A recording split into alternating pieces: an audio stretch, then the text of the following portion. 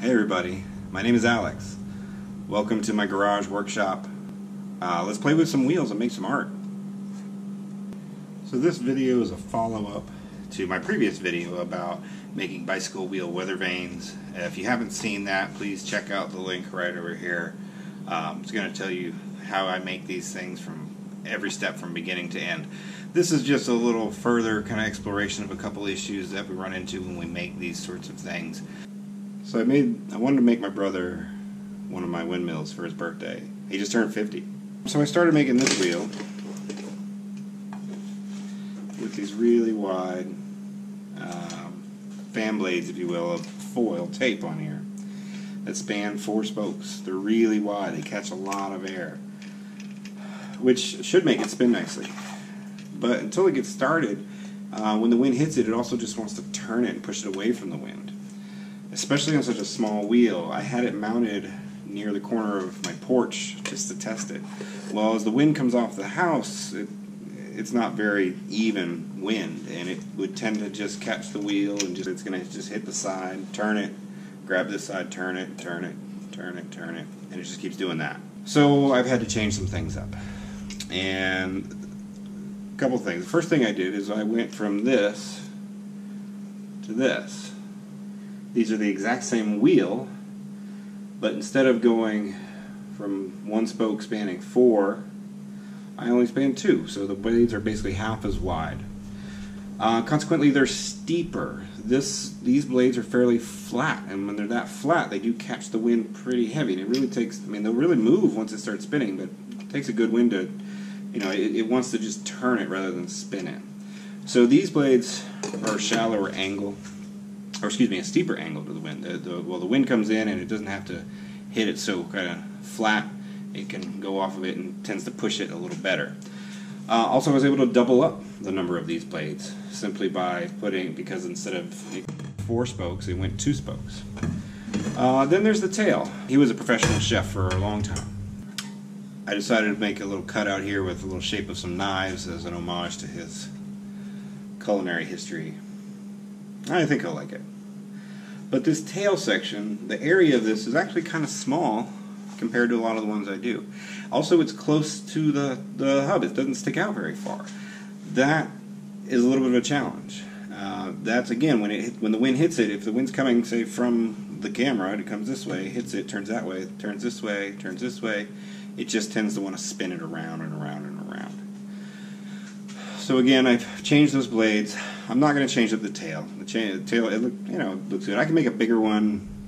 Um, it does work, but it, the wind really has to be moving a good clip for it to really start spinning around rather than turning on its axis this way.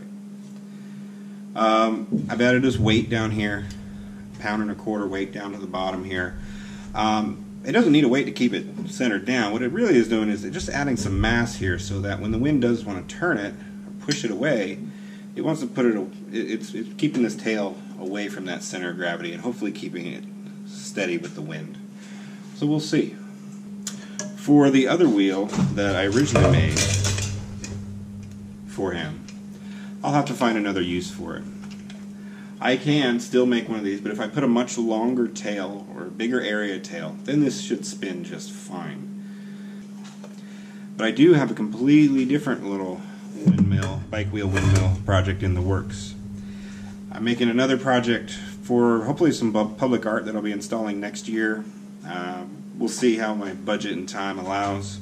Instead of a wheel that turns like this does, like it's a fan blade, I'm going to do some where it turns more like a water wheel in the wind.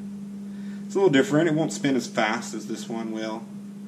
Um, but for this particular art project, I need something that's going to catch the wind in that plane, uh, and this just won't work. Um, we're going to do some hopefully some really nice stuff with some panes of stained glass placed in between the spokes. I think it's going to be beautiful.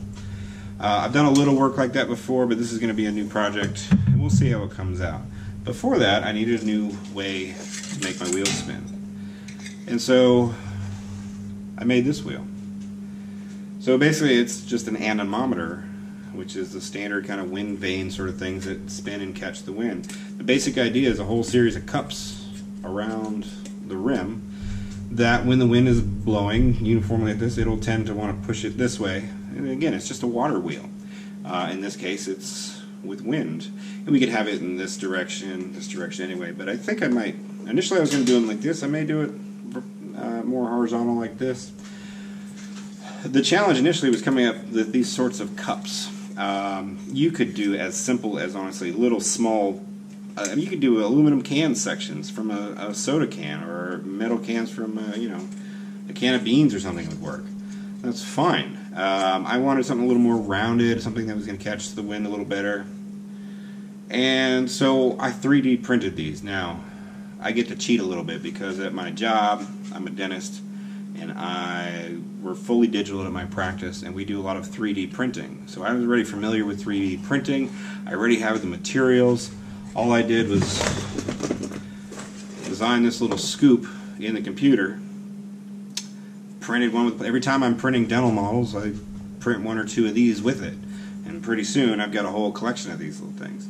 I've made a hole in it that I've threaded for a uh, 4 millimeter metric thread. I simply drilled holes along the rim and bolted it on. So we're going to make a bunch of these things. I might make some different shapes of these, different sizes, maybe even some that sit inside the rim, especially for larger diameter wheels.